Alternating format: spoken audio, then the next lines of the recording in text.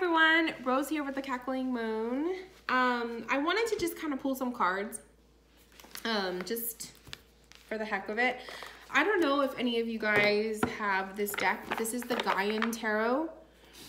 I picked this one up at Barnes & Noble the other day. It looked really interesting and I've seen a couple of followers that I have um, using this deck and I was really, you know, I'm looking for tarot decks that are not Rider-Waite.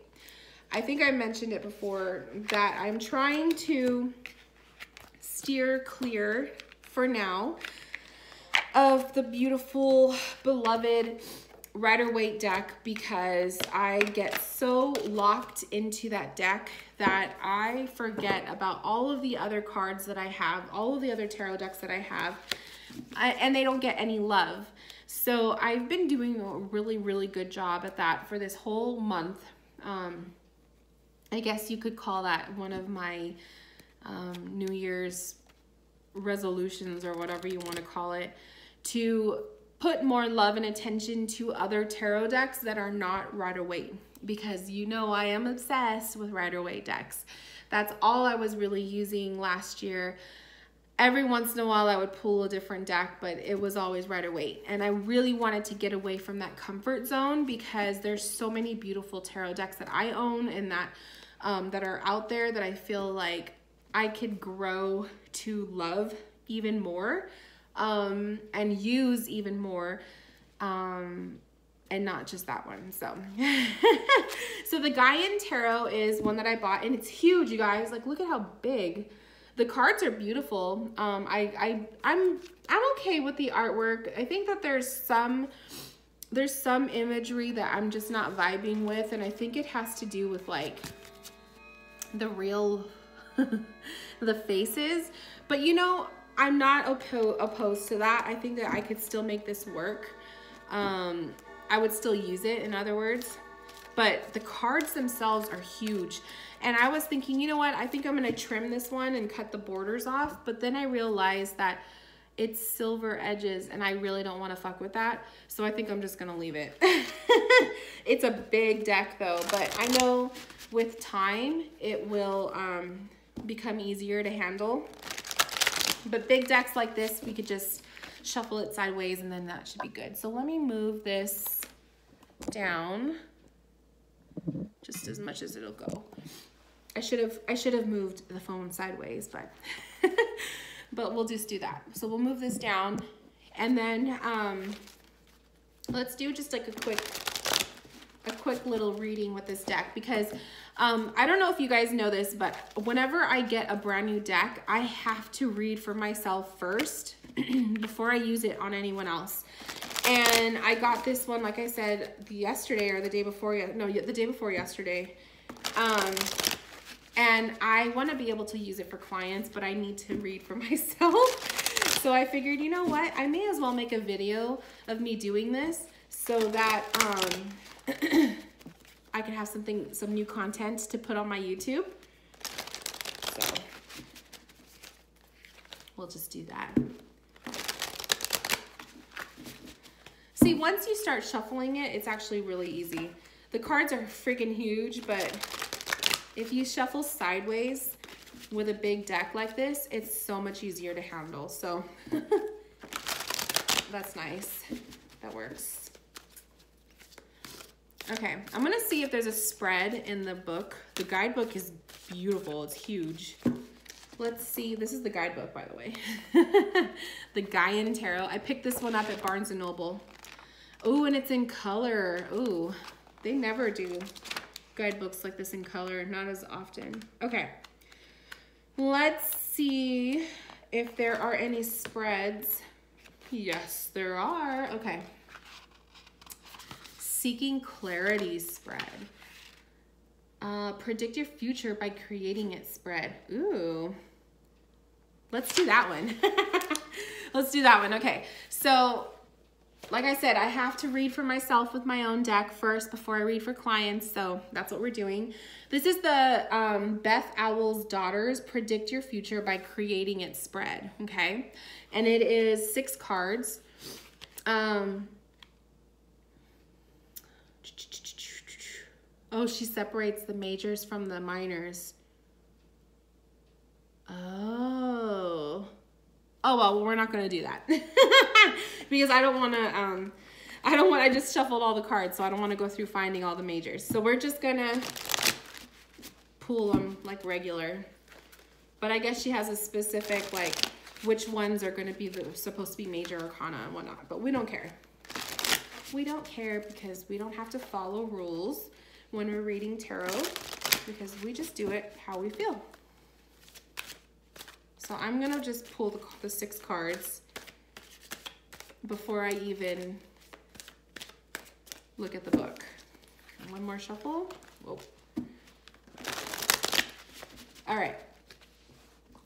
So number one, two, three, four, five, six.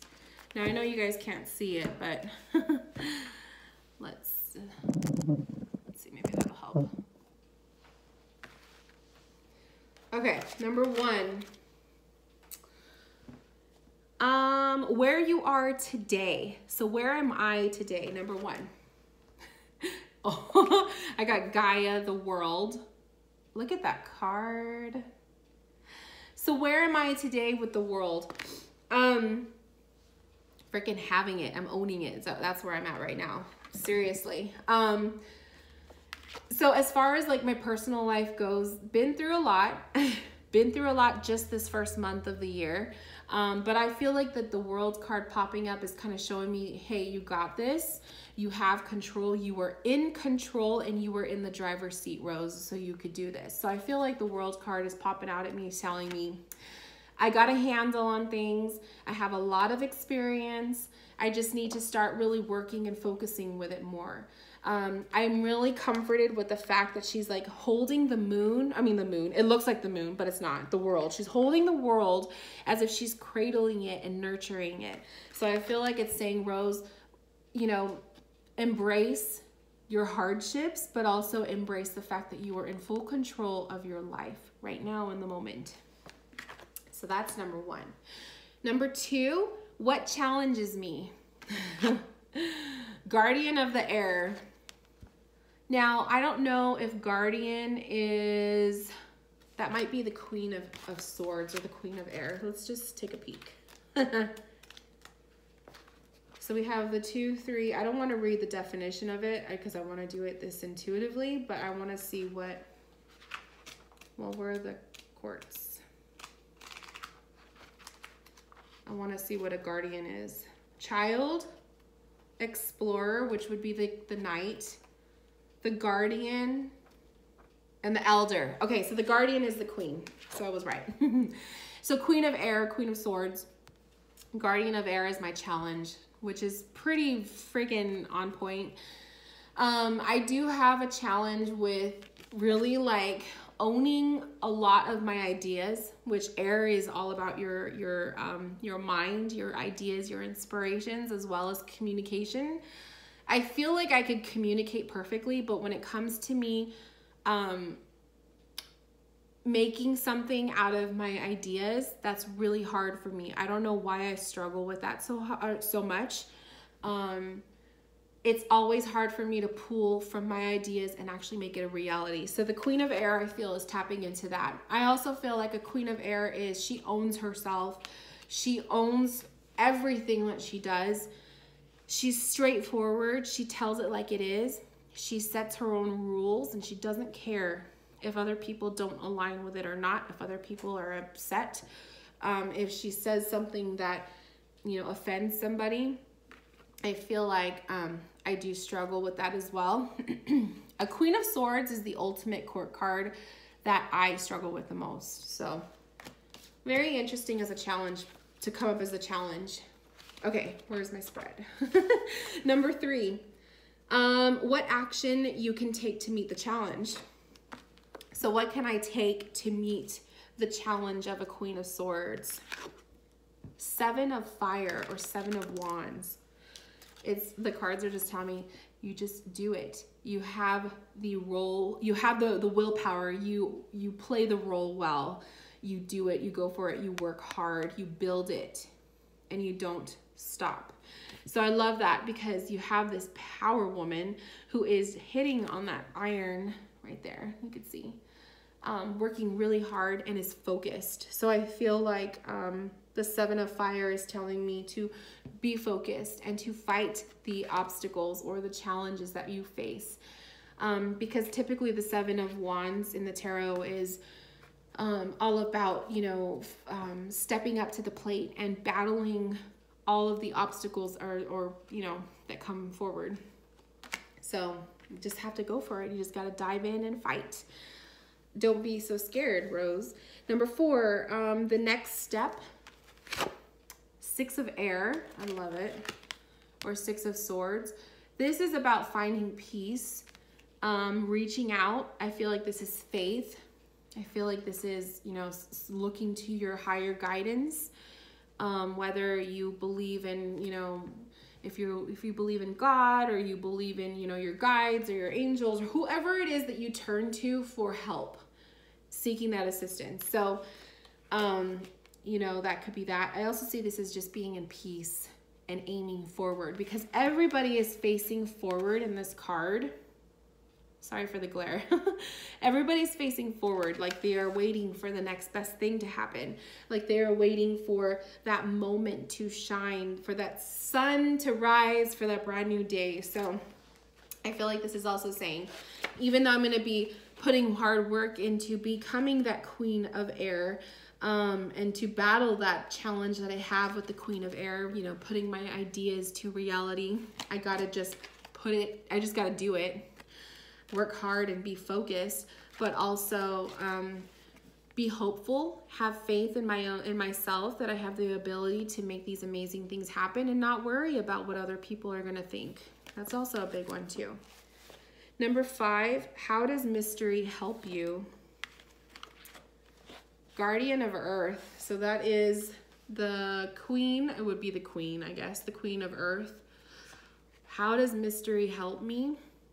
I don't understand the mystery part. Let's see. The spread doesn't really, it doesn't really explain mystery, but how would it help me though? Well, for one, being grounded, and two, nurturing everything as it, as it is, as if it were my baby. So taking care of everything and having more respect for myself. I feel like, um, I feel like one of the reasons why I doubt the dreams, the ideas, the inspirations that I get, but actually putting them into work. Um, I feel like the one of the reasons why I don't do it is because I doubt myself a lot, and I feel like I think like like it's automatically going to fail or people aren't going to like it or I'm not going to have the time or the energy to keep up with it. I, I start thinking long term before it even happens. So I feel like the queen of earth is kind of saying you got to you got to water your seeds for them to grow. You guys kind of see you kind of see that. and then the last one um the outcome or where do I want to be? And we have oh, the wheel. Full circle. It's a 10 card. So this is all the wheel of fortune. So I feel like where do I want to be? Full circle, meeting my goals, you know, coming full circle with my path and with my journey. What a beautiful card to receive after getting the world. I love it. And, and I love this deck. So now that I've like, now that I've read for myself with this, um, I have a better understanding of, um, these cards. So not just face value, not just looking at, eh, I don't really like some of the, some of the faces. But um, I think if I could look beyond that, I think this would be a really cool deck to work with and read for clients. So I'm excited. I'm glad that I read for it. And if anyone is wondering, this is the Gaian Tarot. This is the backs of the cards. So really pretty. They are laminated, so they have like a gloss to them as you can see, but beautiful. So they're, and they're very large, but those are the backs. And then the cards themselves have a lot of the artwork um, with people's faces. So if you are not, um, if you are not, you know, a fan of that, you may not like this deck Um, but the cool thing about it is there's a multiple, um, a wide range of just different types of people. You have, you don't just have a bunch of, you know, white people in the cards. You have, you know, a variety. And then there's animals too. So you have beautiful animals and you have Ooh, you get you have a little bit of nudity in some of the cards. Not too much. This one looks that one reminds me of me. um, let's see.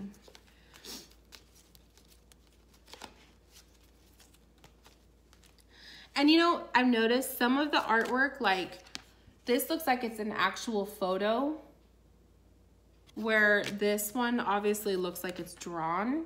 So there is a blend of the two. So you have some actual photos and then you have some that are like, it's, it's pure artwork. What else can I see? I don't know. I don't know. I mean, now that I look at it, I don't think that the faces are going to really throw me off. Um, I think it'll it'll be doable. I think that the the cool part about this deck is that there's so many so many different people and stuff in it. It's it's kind of like you have the whole wide range of world. Um, here's like an actual photo of an animal. So you kind of have a blend of the two. It's a different type of a deck, but I actually like it.